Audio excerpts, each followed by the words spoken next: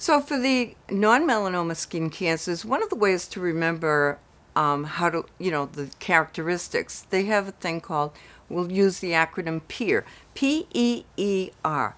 So these are persistent, easily irritated, expanding or enlarging, and recurrent. So sometimes, you know, a non-melanoma skin cancer will show up it'll go away, but it always comes back in the same place. So, and these are usually the non-melanoma skin cancers usually are not pigmented. The melanomas and the other cancers are pigmented. Um, most of the time it's a little red bump.